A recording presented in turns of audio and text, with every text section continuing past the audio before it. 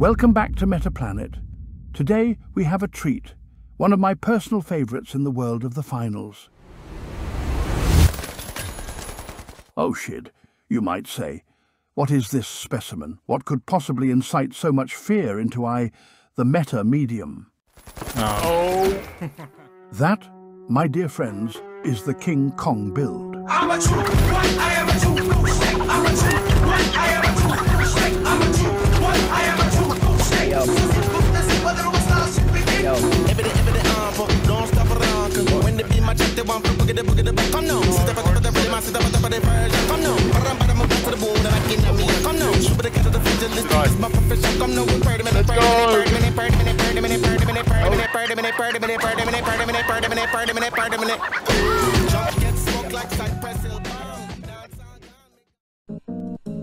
The mighty Kong, closely related to the Goober build, share the same vein of chaos.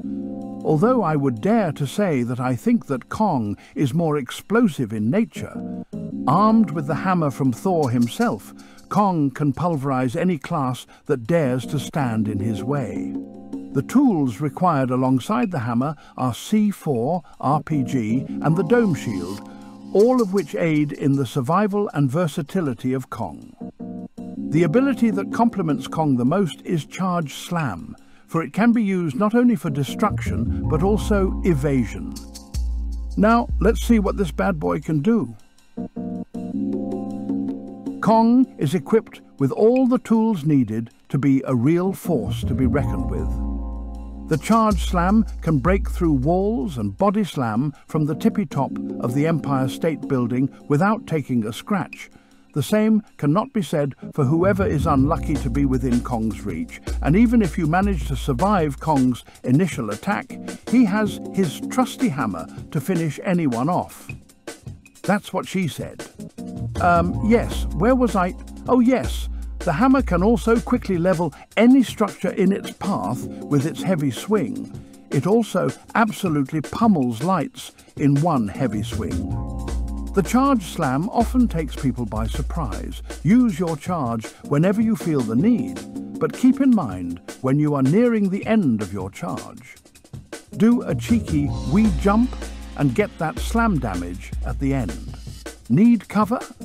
Charge, slam away and create cover in the environment around you or throw down your dome shield to tie you over till you find something suitable to hide behind.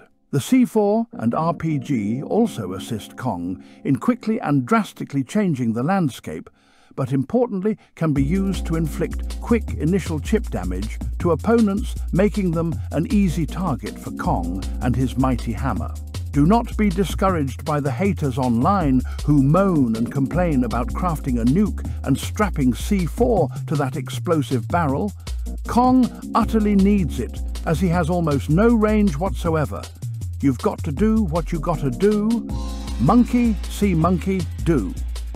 Also, on that note, you must craft your nukes on red barrels as all other barrels are apparently too heavy to throw once C4 is strapped onto them. Too heavy even for Kong. Kong is an extremely territorial creature that thrives in chaos. Despite being such a large oppressive presence, when the point is chaotic, Kong seems almost invisible, with opponents only realizing how much trouble they are in when it's already too late. But it's not all smash, slam and bonk. Kong is very objective-centric, often struggling in combat, revolving around capturing the initial vault, or in wide open spaces. When playing Kong, you should really pick and choose your fights and wait for opportune moments and situations. Las Vegas is an excellent map for Kong, with cover only ever being a charge slam away.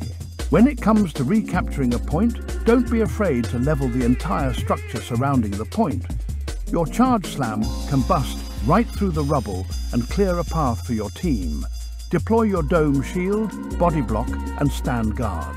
Ideally, you want to already have control of the point so Kong can fully engage with his sudden and oppressive playstyle, Burst onto the point when needed, and don't be afraid to sacrifice yourself for your team to come and mop up what's left of the opposition. This game is full of different classes and play styles, and King Kong is up there with my favourites. Kong is one of the most satisfying and engaging builds you can play. Every build is playable in this game, just give it some time to learn the ropes and have some fun. I bid you farewell until next time.